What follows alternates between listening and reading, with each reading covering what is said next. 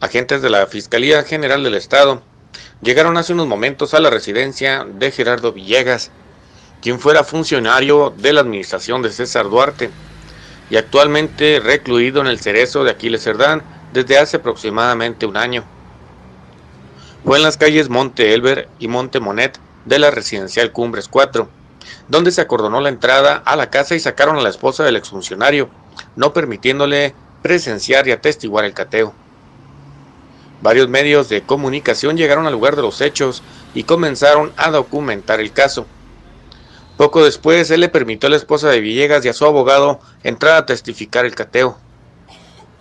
Un hermano de la esposa de Villegas comentó a este medio que las acciones de la fiscalía obedecen más a un acto intimidatorio que a un proceso judicial, ya que su cuñado se encuentra recluido hace más de un año y estas acciones al parecer se derivan a una situación de que se agotaron los recursos para mantenerlo encerrado.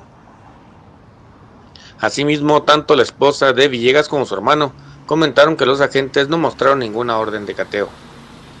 Informó para Relevancia Chihuahua Miguel Chacón.